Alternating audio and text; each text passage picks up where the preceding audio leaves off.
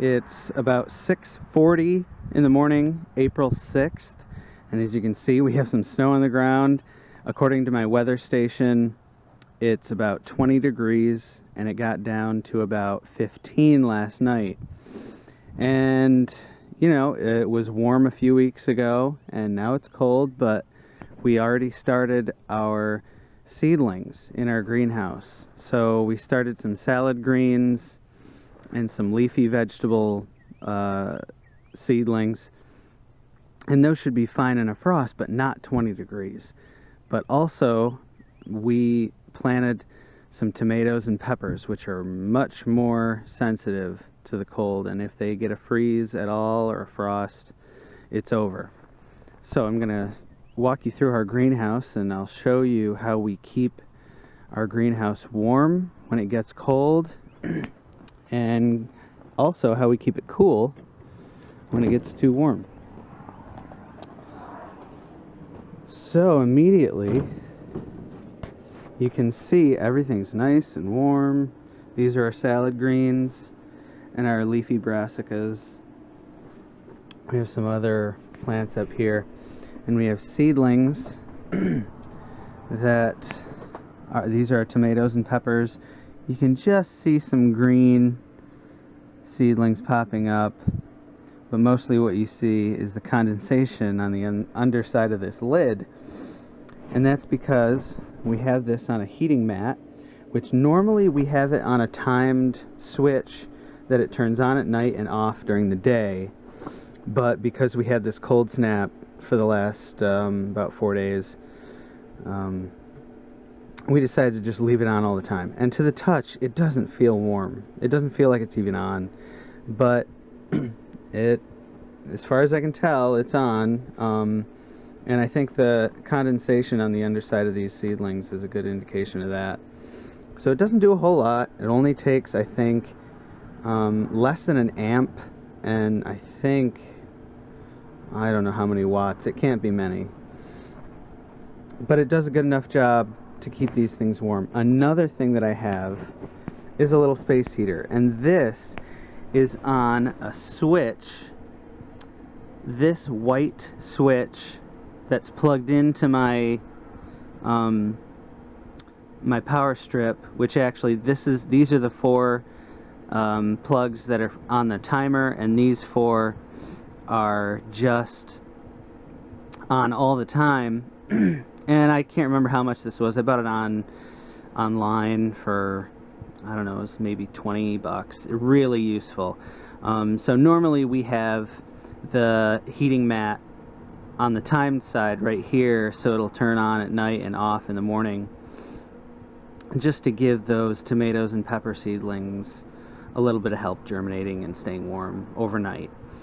Because even when it's not during a cold snap, it can get pretty pretty chilly at night. But we have everything plugged in all the time now for this cold snap. Here's the heating mat um, plugged in, and this little uh, plug that I have here is actually a switch.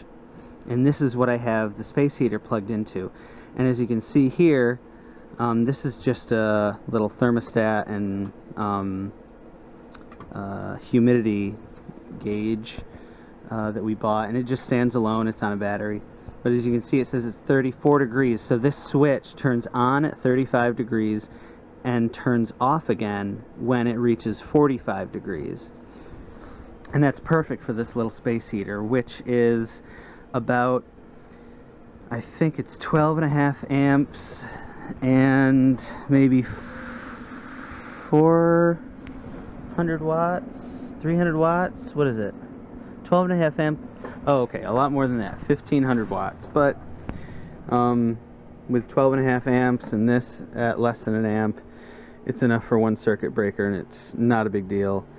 Um, and we just run the power out through from an extension cord. These are our composters which we also feel like it helps out um, at night because they'll absorb the sun's uh, energy and they'll heat up during the day and at night they'll slowly give off that heat and cool down.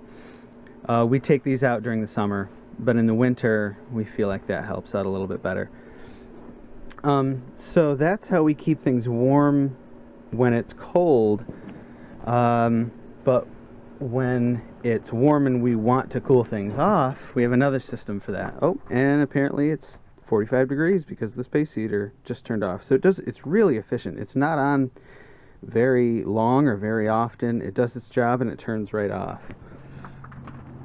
Um, on the other side of the sheet and on the on the outside of the greenhouse I have just a small solar panel and that puts out about five watts of power uh, when the sun's shining on it which is when you want this system to be on.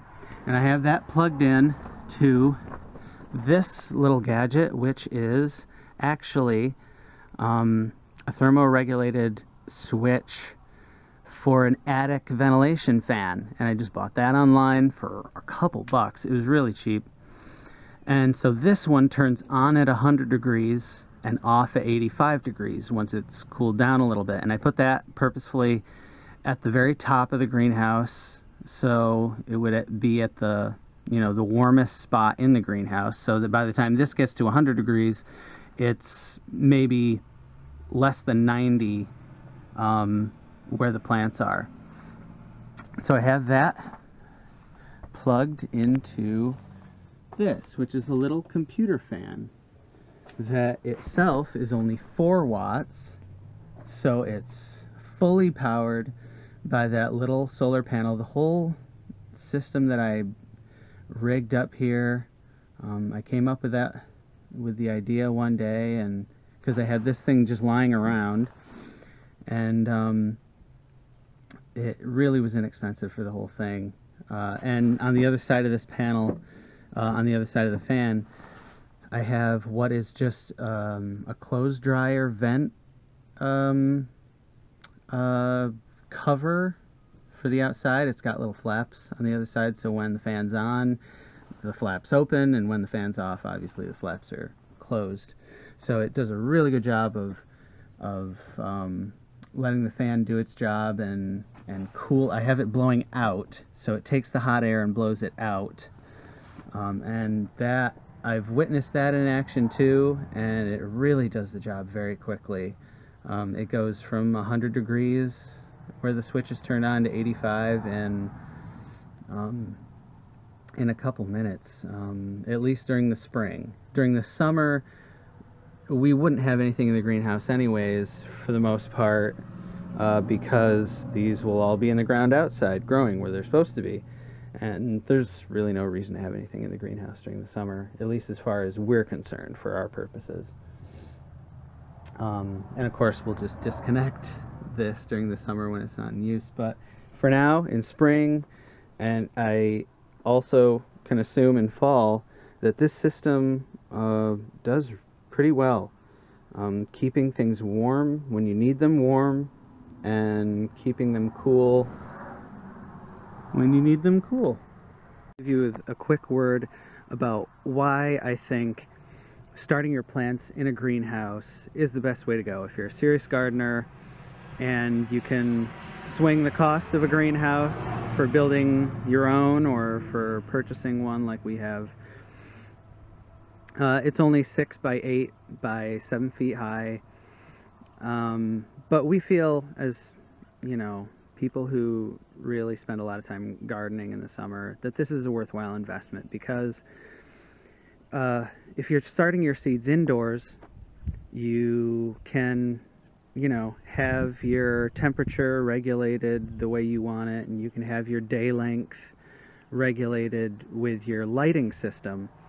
But there's really nothing like uh, acclimating your plants and starting them as seedlings in uh, in an environment where they're getting the natural sunlight, the natural day length that's progressively longer through the spring. So you're getting the natural uh, increase of of daylight hours as the season goes. So by the time you're ready to transplant outdoor uh, outdoors in your garden, they're already acclimated to the, to that day length dynamic. And also as far as temperature goes, inside, usually people keep their houses um, pretty constant as far as temperature goes. Uh, but out here, you can get really warm days and cool nights, and we feel like that uh, is is it does a better job of getting the plants ready for being outdoors.